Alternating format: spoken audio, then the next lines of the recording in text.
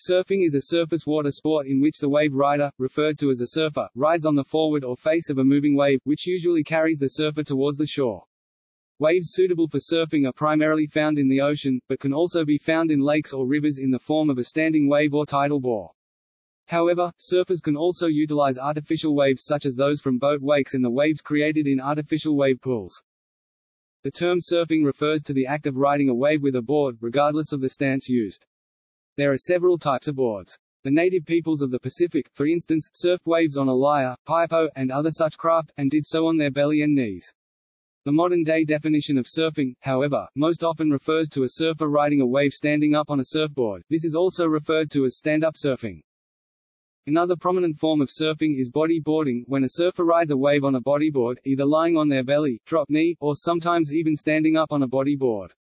Other types of surfing include kneeboarding, surf matting, riding inflatable mats, and using foils. Body surfing, where the wave is surfed without a board, using the surfer's own body to catch and ride the wave, is very common and is considered by some to be the purest form of surfing. Three major subdivisions within stand-up surfing are stand-up paddling, longboarding and shortboarding with several major differences including the board design and length, the riding style, and the kind of wave that is ridden. In tow in surfing, most often, but not exclusively, associated with big wave surfing, a motorized water vehicle such as a personal watercraft, tows the surfer into the wave front helping the surfer match a large wave speed, which is generally a higher speed than a self-propelled surfer can produce. Surfing-related sports such as paddle boarding and sea kayaking do not require waves, and other derivative sports such as kite surfing and windsurfing rely primarily on wind for power, yet all of these platforms may also be used to ride waves. Recently with the use of V-drive boats, wakesurfing, in which one surfs on the wake of a boat, has emerged. The Guinness Book of World Records recognized a 23.8 meters 78 feet wave ride by Garrett McNamara at Nazaré, Portugal as the largest wave ever surfed.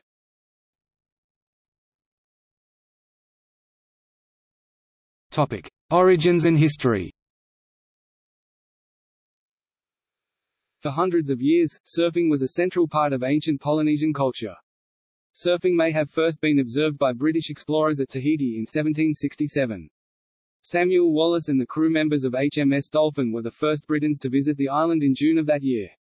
Another candidate is the botanist Joseph Banks being part of the first voyage of James Cook on HMS Endeavour, who arrived on Tahiti on 10 April 1769. Lieutenant James King was the first person to write about the art of surfing on Hawaii when he was completing the journals of Captain James Cook upon Cook's death in 1779. When Mark Twain visited Hawaii in 1866 he wrote, In one place we came upon a large company of naked natives, of both sexes and all ages, amusing themselves with the national pastime of surf bathing. References to surf riding on planks and single canoe hulls are also verified for pre-contact Samoa, where surfing was called Fasai or Saegalu see Augustin Kramer, the Samoa Islands, and Tonga, far predating the practice of surfing by Hawaiians and Eastern Polynesians by over a thousand years. In July 1885, three teenage Hawaiian princes took a break from their boarding school, St. Matthew's Hall in San Mateo, and came to cool off in Santa Cruz, California. There, David Kawananakoa, Edward Keliiahonui and Jonah Kuhio Kalanianaole surfed the mouth of the San Lorenzo River on custom-shaped redwood boards, according to surf historians Kim Stoner and Geoff Dunn. In 1890 the pioneer in agricultural education John Wrightson reputedly became the first British surfer when instructed by two Hawaiian students at his college, George Freeth the 8th of November 1883 to the 7th of April 1919 is often credited as being the father of modern surfing. He is thought to have been the first modern surfer. In 1907, the eclectic interests of the land baron Henry E. Huntington brought the ancient art of surfing to the California coast. While on vacation, Huntington had seen Hawaiian boys surfing the island waves. Looking for a way to entice visitors to the area of Redondo Beach where he had heavily invested in real estate, he hired a young Hawaiian to ride surfboards. George Freeth decided to revive the art of surfing, but had little success with the huge 500 centimeters 16 feet hardwood boards that were popular at that time. When he cut them in half to make them more manageable, he created the original longboard, which made him the talk of the islands. To the delight of visitors, Freeth exhibited his surfing skills twice a day in front of the Hotel Redondo. Another native Hawaiian, Duke Kahanamoku, spread surfing to both the US and Australia, riding the waves after displaying the swimming prowess that won him Olympic gold medals in 1912 and 1920.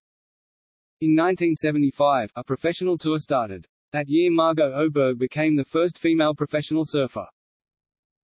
Topic surf wave swell is generated when the wind blows consistently over a large area of open water, called the wind's fetch. The size of a swell is determined by the strength of the wind and the length of its fetch and duration.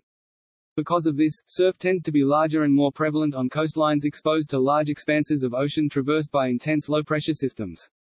Local wind conditions affect wave quality since the surface of a wave can become choppy in blustery conditions.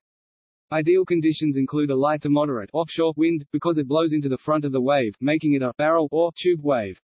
Waves are left-handed and right-handed depending upon the breaking formation of the wave.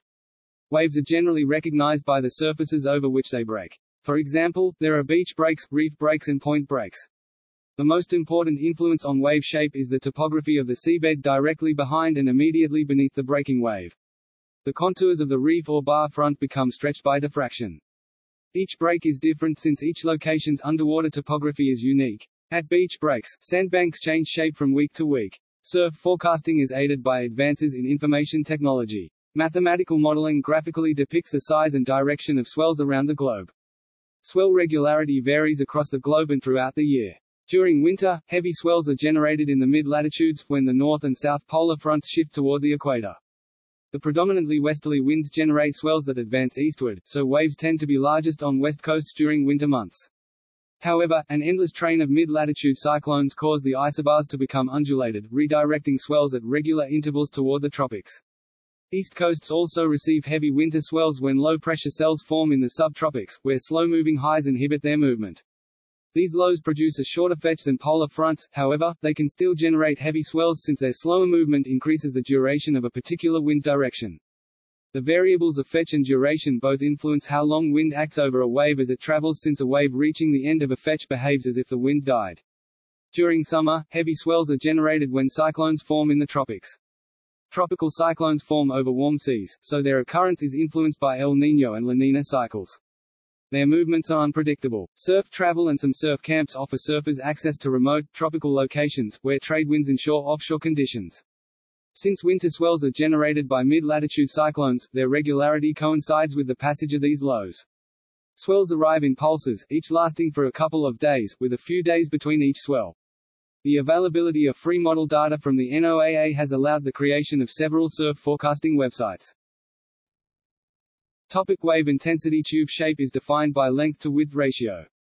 A perfectly cylindrical vortex has a ratio of 1 to 1. Other forms include square, round, 1 minus 2 to 1 almond, greater than 2 to 1 tube speed is defined by angle of peel line. Fast 30 degrees.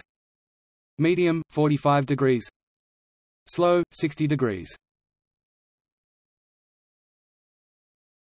Topic: Artificial reefs.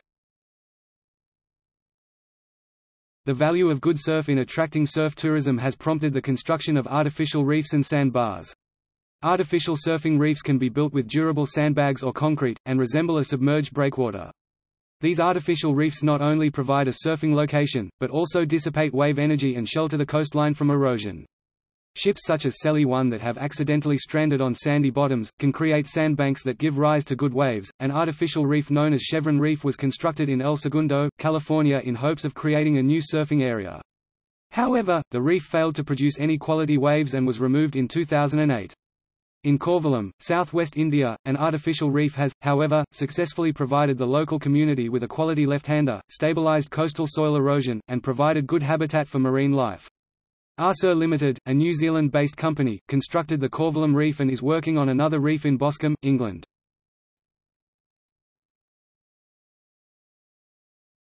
Topic: Artificial waves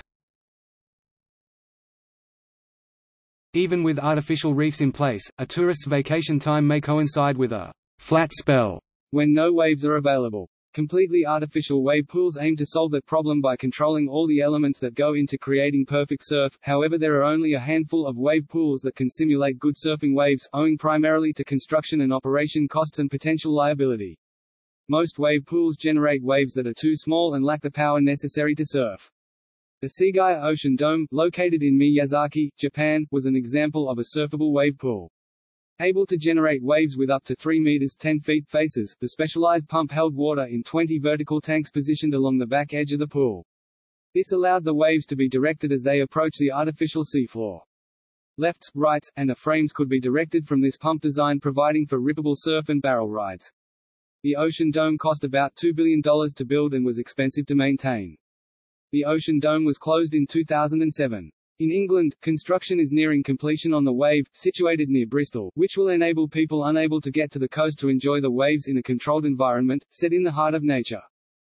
There are two main types of artificial waves that exist today. One being artificial or stationary waves which simulate a moving, breaking wave by pumping a layer of water against a smooth structure mimicking the shape of a breaking wave.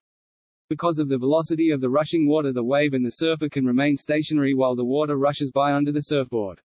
Artificial waves of this kind provide the opportunity to try surfing and learn its basics in a moderately small and controlled environment near or far from locations with natural surf. Another artificial wave can be made through use of a wave pool. These wave pools strive to make a wave that replicates a real ocean wave more than the stationary wave does. In 2018, the first professional surfing tournament in a wave pool was held.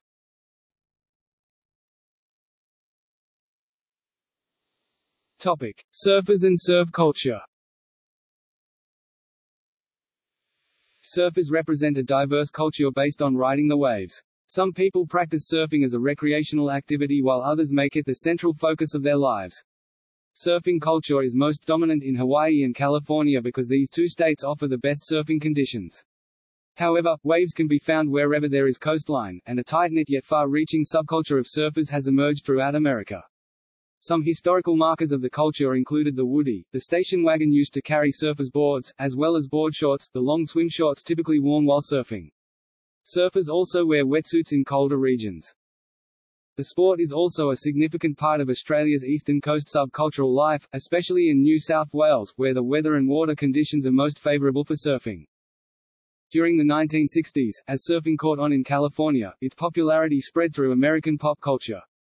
Several teen movies, starting with the Gidget series in 1959, transformed surfing into a dream life for American youth.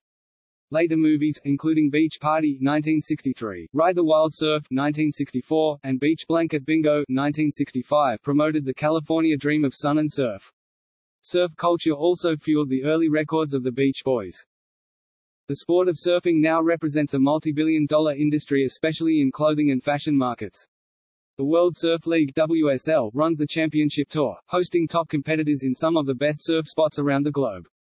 A small number of people make a career out of surfing by receiving corporate sponsorships and performing for photographers and videographers in far-flung destinations. They are typically referred to as free surfers. 66 surfboarders on a 13 meters 42 feet long surfboard set a record in Huntington Beach, California for most people on a surfboard at one time. Dale Webster consecutively surfed for 14,641 days, making it his main life focus. When the waves were flat, surfers persevered with sidewalk surfing, which is now called skateboarding. Sidewalk surfing has a similar feel to surfing and requires only a paved road or sidewalk. To create the feel of the wave, surfers even sneak into empty backyard swimming pools to ride in, known as pool skating. Eventually, surfing made its way to the slopes with the invention of the snurfer, later credited as the first snowboard. Many other board sports have been invented over the years, but all can trace their heritage back to surfing. Many surfers claim to have a spiritual connection with the ocean, describing surfing, the surfing experience both in and out of the water, as a type of spiritual experience or a religion.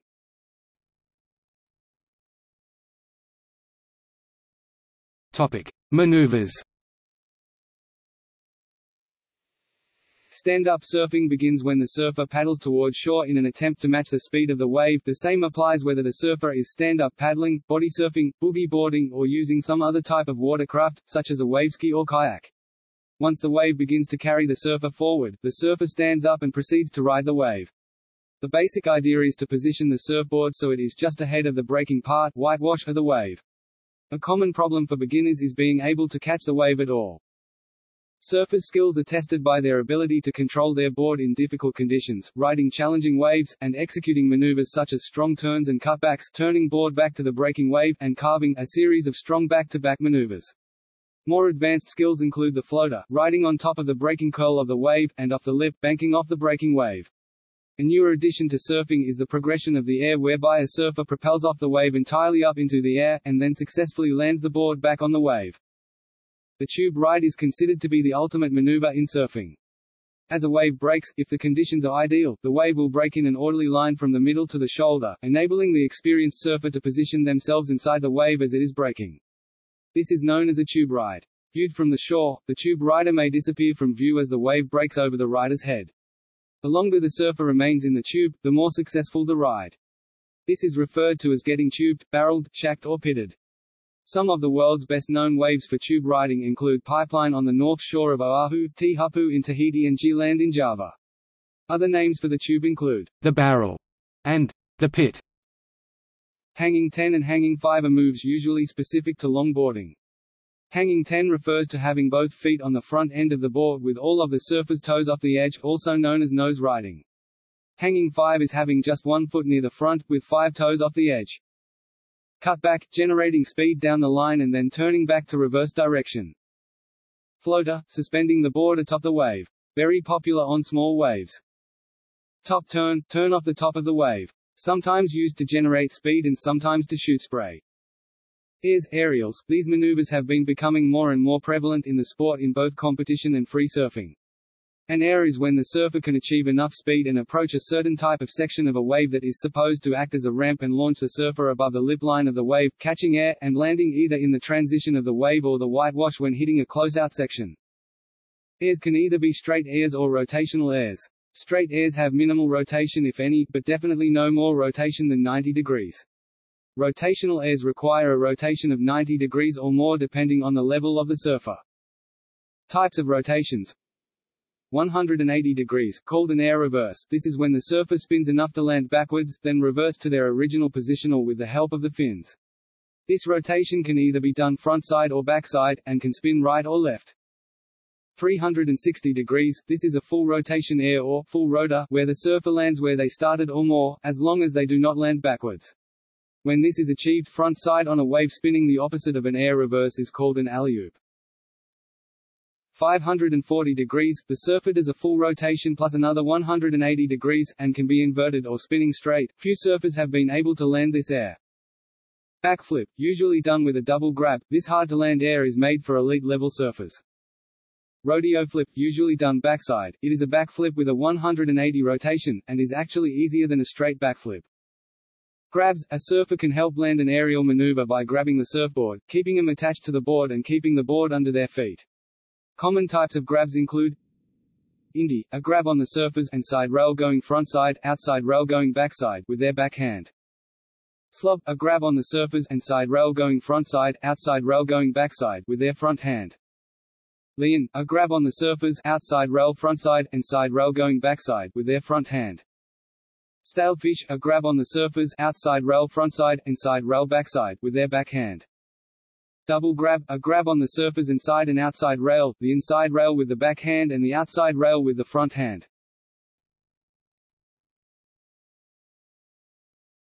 Topic. Terms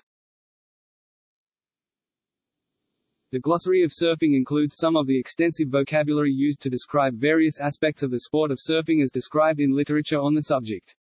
In some cases terms have spread to a wider cultural use. These terms were originally coined by people who were directly involved in the sport of surfing.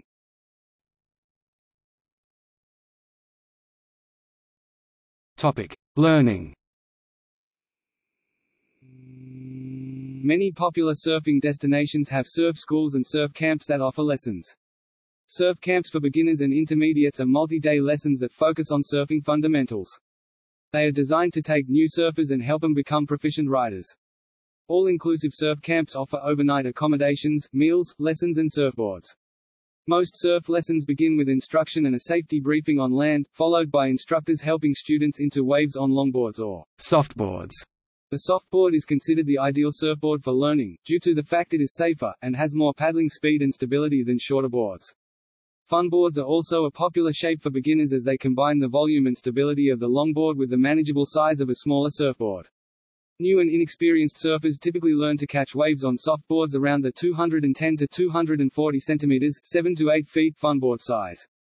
Due to the softness of the surfboard the chance of getting injured is substantially minimized. Typical surfing instruction is best performed one-on-one, -on -one, but can also be done in a group setting. The most popular surf locations offer perfect surfing conditions for beginners, as well as challenging breaks for advanced students. The ideal conditions for learning would be small waves that crumble and break softly, as opposed to the steep, fast-peeling waves desired by more experienced surfers. When available, a sandy seabed is generally safer. Surfing can be broken into several skills, paddling strength, positioning to catch the wave, timing, and balance. Paddling out requires strength but also the mastery of techniques to break through oncoming waves duck diving, Eskimo roll. Takeoff positioning requires experience at predicting the wave set and where they will break. The surfer must pop up quickly as soon as the wave starts pushing the board forward. Preferred positioning on the wave is determined by experience at reading wave features including where the wave is breaking. Balance plays a crucial role in standing on a surfboard. Thus, balance training exercises are a good preparation. Practicing with a balance board or swing boarding helps novices master the art. The repetitive cycle of paddling, popping up, and balancing requires stamina, explosivity, and near constant core stabilization. Having a proper warm-up routine can help prevent injuries. Topic: Equipment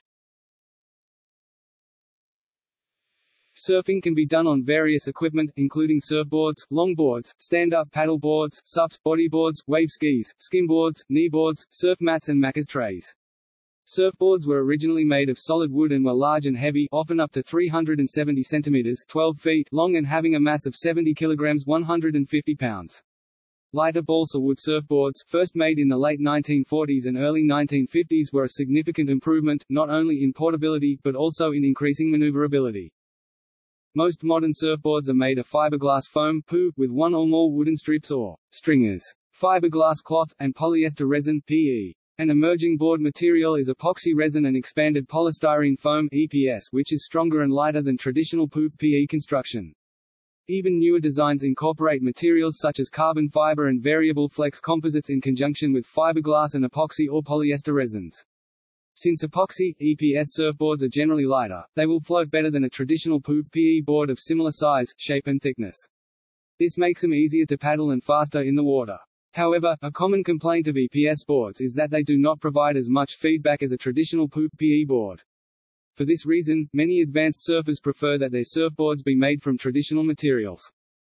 Other equipment includes a leash to stop the board from drifting away after a wipeout, and to prevent it from hitting other surfers, surf wax, traction pads to keep a surfer's feet from slipping off the deck of the board, and fins also known as skegs which can either be permanently attached glassed on, or interchangeable.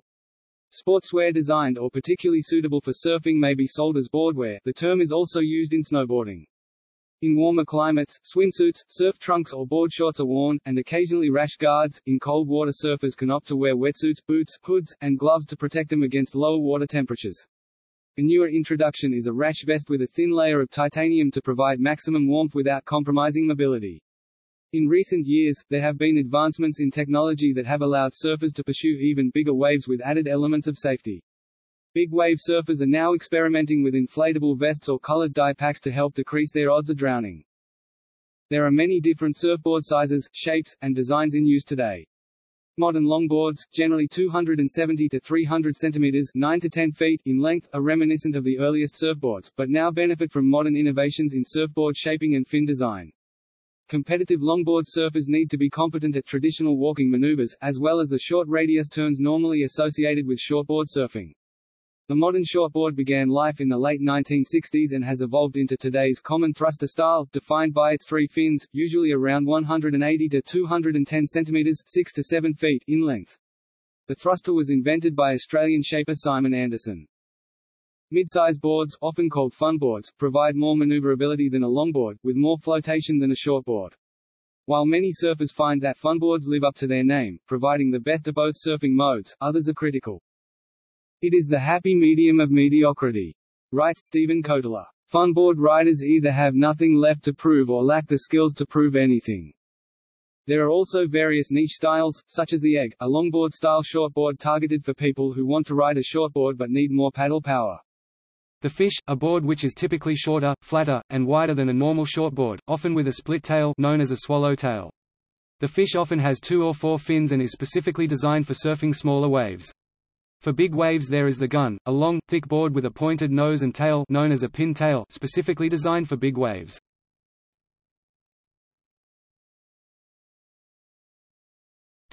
The physics of surfing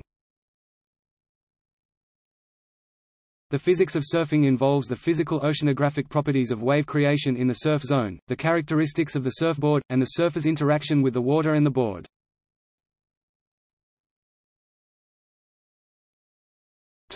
Wave formation Ocean waves are defined as a collection of dislocated water parcels that undergo a cycle of being forced past their normal position and being restored back to their normal position. Wind-caused ripples and eddies form waves that gradually gain speed and distance fetch. Waves increase in energy and speed, and then become longer and stronger. The fully developed sea has the strongest wave action that experiences storms lasting 10 hours and creates 15-meter wave heights in the open ocean. The waves created in the open ocean are classified as deep water waves. Deep water waves have no bottom interaction and the orbits of these water molecules are circular, their wavelength is short relative to water depth and the velocity decays before the reaching the bottom of the water basin. Deep waves have depths greater than one-half their wavelengths. Wind forces waves to break in the deep sea. Deep water waves travel to shore and become shallow water waves. Shallow water waves have depths less than one-half of their wavelength. Shallow waves wavelengths are long relative to water depth and have elliptical orbitals. The wave velocity affects the entire water basin. The water interacts with the bottom as it approaches shore and has a drag interaction. The drag interaction pulls on the bottom of the wave, causes refraction, increases the height, decreases the celerity or the speed of the wave form, and the top crest falls over. This phenomenon happens because the velocity of the top of the wave is greater than the velocity of the bottom of the wave. The surf zone is place of convergence of multiple waves types creating complex wave patterns. A wave suitable for surfing results from maximum speeds of 5 meters per second.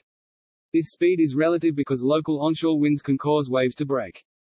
In the surf zone, shallow water waves are carried by global winds to the beach and interact with local winds to make surfing waves. Different onshore and offshore wind patterns in the surf zone create different types of waves. Onshore winds cause random wave breaking patterns and are more suitable for experienced surfers. Light offshore winds create smoother waves, while strong direct offshore winds cause plunging or large barrel waves. Barrel waves are large because the water depth is small when the wave breaks. Thus, the breaker intensity or force increases, and the wave speed and height increase. Offshore winds produce non-surfable conditions by flattening a weak swell. Weak swell is made from surface gravity forces and has long wavelengths.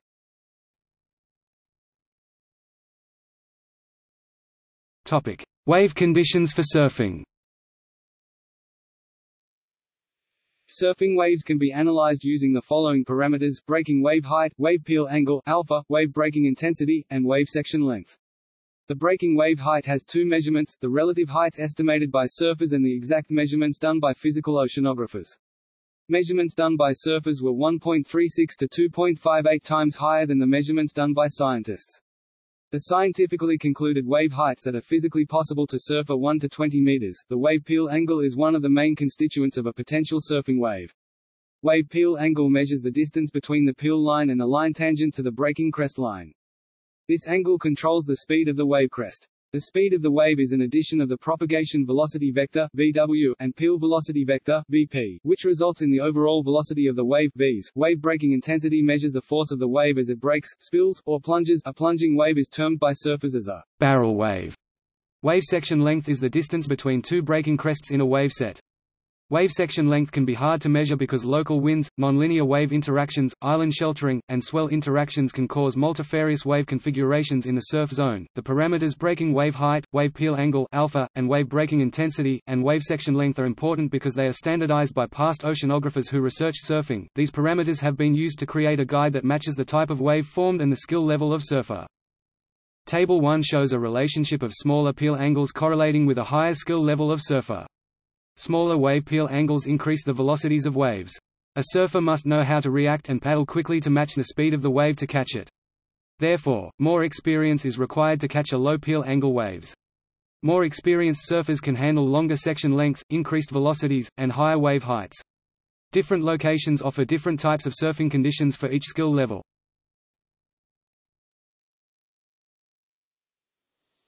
Topic: Surf breaks. A surf break is an area with an obstruction or an object that causes a wave to break. Surf breaks entail multiple scale phenomena.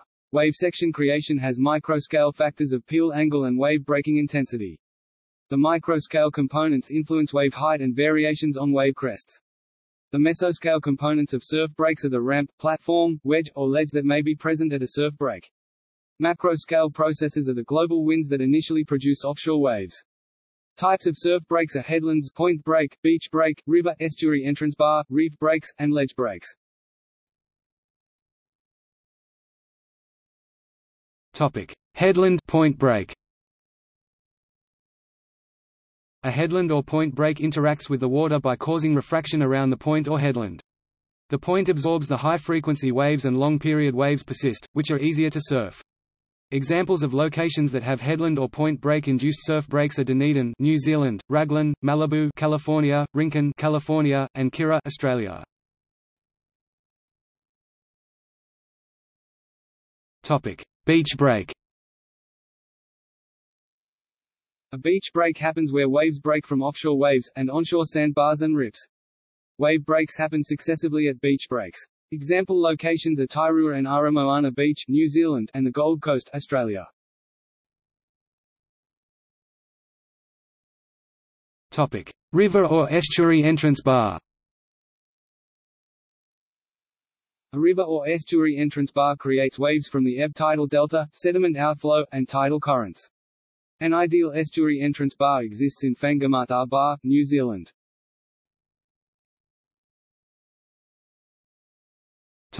Reef break. A reef break is conducive to surfing because large waves consistently break over the reef.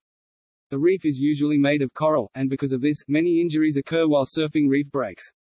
However, the waves that are produced by reef breaks are some of the best in the world.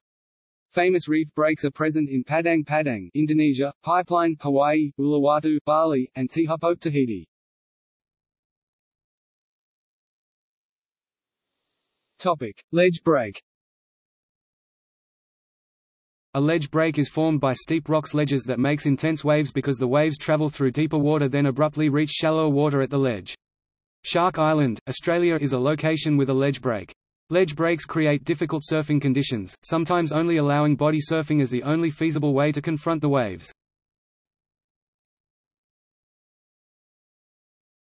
Topic: Jetties and their impacts on wave formation in the surf zone.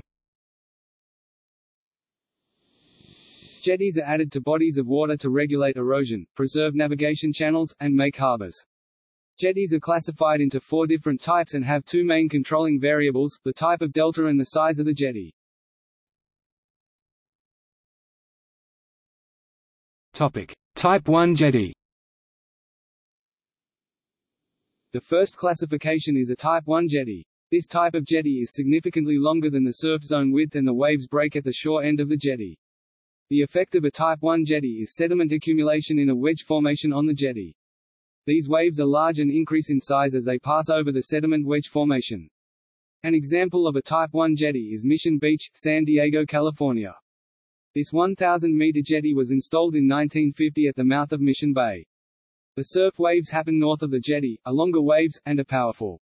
The bathymetry of the sea bottom in Mission Bay has a wedge-shaped formation that causes the waves to refract as they become closer to the jetty. The waves converge constructively after they refract and increase the sizes of the waves. Topic: Type 2 jetty.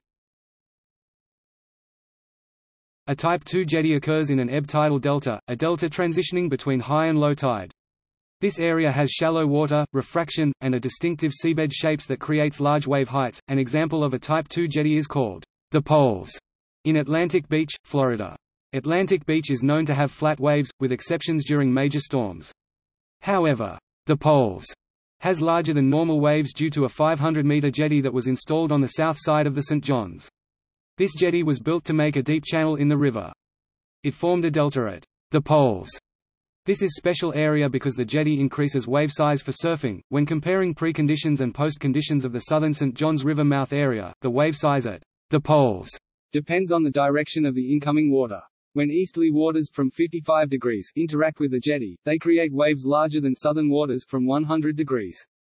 When southern waves from 100 degrees move toward the poles, one of the waves breaks north of the southern jetty and the other breaks south of the jetty.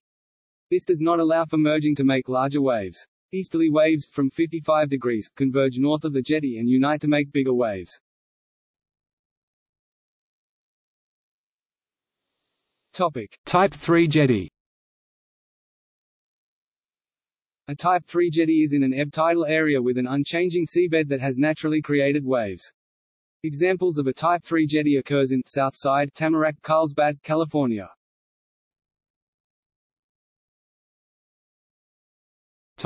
Type 4 jetty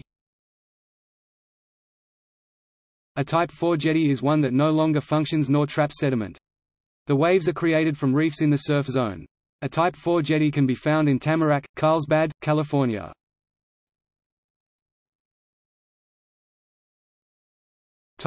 Rip currents. Rip currents are fast, narrow currents that are caused by onshore transport within the surf zone and the successive return of the water seaward. The wedge bathymetry makes a convenient and consistent rip current of 5 to 10 meters that brings the surfers to the takeoff point, then out to the beach. Oceanographers have two theories on rip current formation. The wave interaction model assumes that two edges of waves interact, create differing wave heights, and cause longshore transport of nearshore currents. The boundary interaction model assumes that the topography of the sea bottom causes nearshore circulation and longshore transport. The result of both models is a rip current. Rip currents can be extremely strong and narrow as they extend out of the surf zone into deeper water, reaching speeds from 0.5 meters per second, 1.6 feet per second, and up to 2.5 meters per second, 8.2 feet per second, which is faster than any human can swim. The water in the jet is sediment-rich, bubble-rich, and moves rapidly. The rip head of the rip current has longshore movement. Rip currents are common on beaches with mild slopes that experience sizable and frequent oceanic swell. The vorticity and inertia of rip currents have been studied. From a model of the vorticity of a rip current done at Scripps Institute of Oceanography, it was found that a fast rip current extends away from shallow water, the vorticity of the current increases, and the width of the current decreases. This model also acknowledges that friction plays a role and waves are irregular in nature. From data from sector scanning Doppler sonar at Scripps Institute of Oceanography, it was found that rip currents in La Jolla, CA lasted several minutes, reoccurred 1 to 4 times per hour, and created a wedge with a 45 degrees arch and a radius 200 to 400 meters.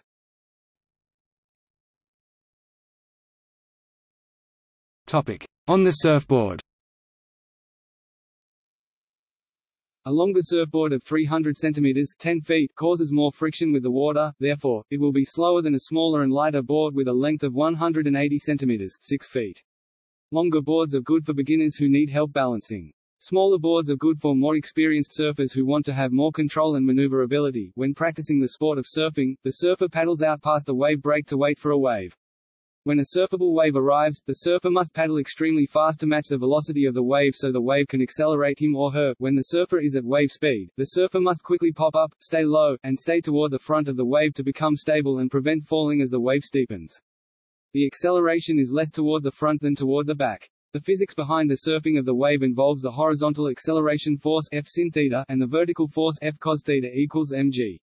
Therefore, the surfer should lean forward to gain more speed, and lean on back foot to brake. Also, to increase the length of the ride of the wave, the surfer should travel parallel to the wave crest.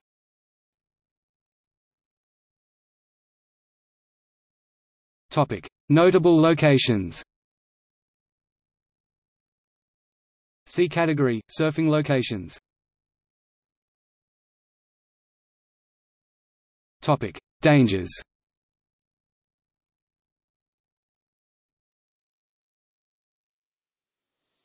Topic: Drowning. Surfing, like all water sports, carries the inherent risk of drowning. Anyone at any age can learn to surf, but should have at least intermediate swimming skills. Although the board assists a surfer in staying buoyant, it can become separated from the user. A leash, attached to the ankle or knee, can keep a board from being swept away, but does not keep a rider on the board or above water.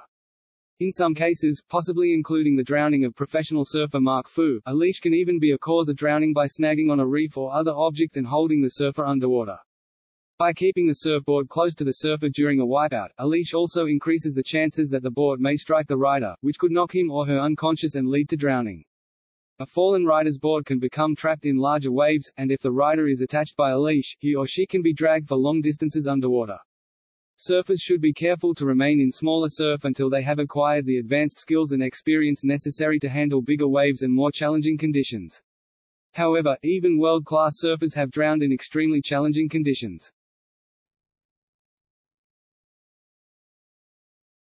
Topic: Collisions. Under the wrong set of conditions, anything that a surfer's body can come in contact with is a potential hazard, including sandbars, rocks, small ice, reefs, surfboards, and other surfers. Collisions with these objects can sometimes cause injuries such as cuts and scrapes and in rare instances, death. A large number of injuries, up to 66%, are caused by collision with a surfboard, nose or fins. Fins can cause deep lacerations and cuts, as well as bruising. While these injuries can be minor, they can open the skin to infection from the sea. Groups like Surfers Against Sewage campaign for cleaner waters to reduce the risk of infections. Local bugs and disease can be risk factors when surfing around the globe. Falling off a surfboard or colliding with others is commonly referred to as a wipeout.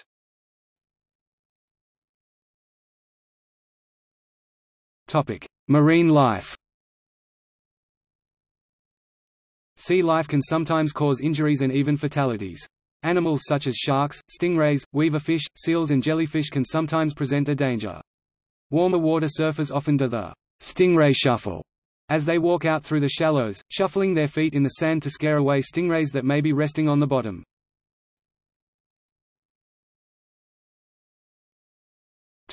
Rip currents Rip currents are water channels that flow away from the shore. Under the wrong circumstances these currents can endanger both experienced and inexperienced surfers. Since a rip current appears to be an area of flat water, tired or inexperienced swimmers or surfers may enter one and be carried out beyond the breaking waves. Although many rip currents are much smaller, the largest rip currents have a width of 40 or 50 feet.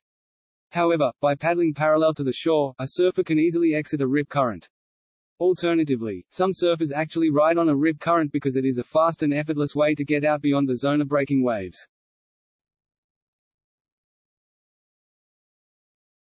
Topic: Seabed.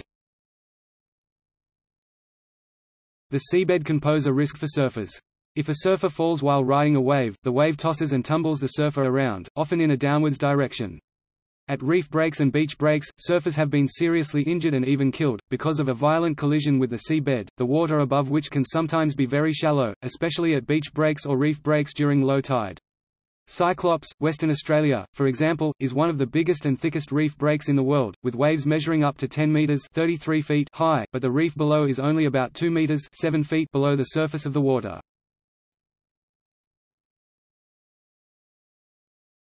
Topic: Microorganisms. A January 2018 study by the University of Exeter called the Beach Bum Survey found surfers and bodyboarders to be three times as likely as non-surfers to harbor antibiotic-resistant E. coli and four times as likely to harbor other bacteria capable of easily becoming antibiotic-resistant. The researchers attributed this to the fact that surfers swallow roughly 10 times as much seawater as swimmers.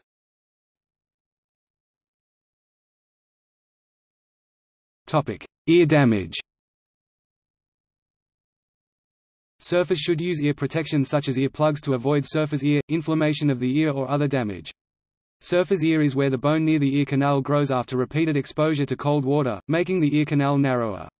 The narrowed canal makes it harder for water to drain from the ear. This can result in pain, infection and sometimes ringing of the ear. If surfer's ear develops it does so after repeated surfing sessions. Yet, damage such as inflammation of the ear can occur after only surfing once. This can be caused by repeatedly falling off the surfboard into the water and having the cold water rush into the ears, which can exert a damaging amount of pressure. Those with sensitive ears should therefore wear ear protection, even if they are not planning to surf very often. Earplugs designed for surfers, swimmers and other water athletes are primarily made to keep water out of the ear, thereby letting a protective pocket of air stay inside the ear canal. They can also block cold air, dirt and bacteria. Many designs are made to let sound through, and either float and or have a leash in case the plug accidentally gets bumped out.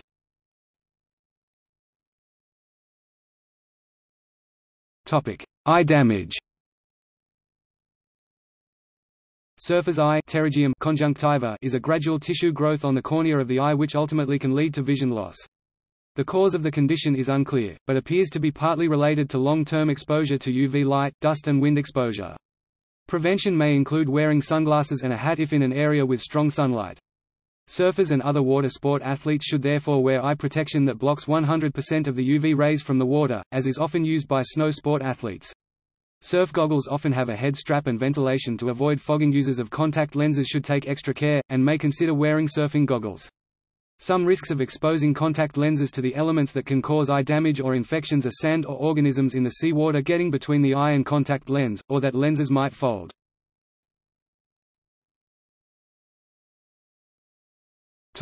Spinal cord Surfer's myelopathy is a rare spinal cord injury causing paralysis of the lower extremities, caused by hyperextension of the back. This is due to one of the main blood vessels of the spine becoming kinked, depriving the spinal cord of oxygen. In some cases the paralysis is permanent. Although any activity where the back is arched can cause this condition i.e. yoga, pilates, etc., this rare phenomenon has most often been seen in those surfing for the first time. According to DPT Sergio Florian, some recommendations for preventing myelopathy is proper warm-up, limiting the session length and sitting on the board while waiting for waves, rather than lying.